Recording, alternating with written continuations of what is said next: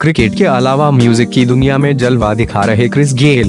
Waste Indies के star cricketer Chris Gayle के पास करियर को लेकर एक और विकल्प मौजूद है।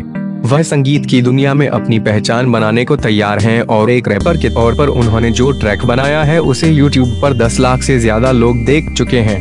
गेल ने कहा कि संगीत उनके अंदर स्वाभाविक रूप से है।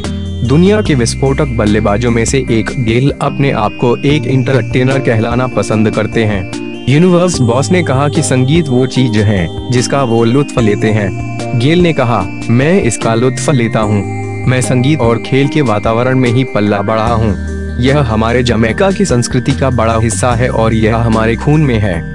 गेल ने हाल ही में ब्रिटिश इंडियन गायक अविना शाह के साथ एक डांस ट्रैक ग्रुप तैयार किया, जिसमें वो एक रैपर की भूमिका में है।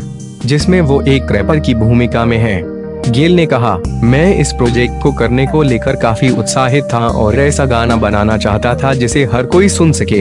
इसमें अंतर्राष्ट्रीय संगीत है जिसमें जमैका, भारत और ग्रेट ब्रिटेन का भी संगीत मौजूद है।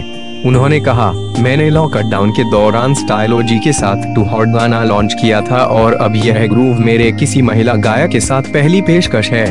मुझे इसे बनाने में काफ़ी मज़ा आया और इसे लेकर लोगों की प्रतिक्रिया भी शानदार रही है। गेल निश्चित तौर पर संगीत को लेकर गंभीर हैं। उन्होंने कहा अलग अलग श्रेणी में हम निकट भविष्य में कुछ और गाने लॉन्च करेंगे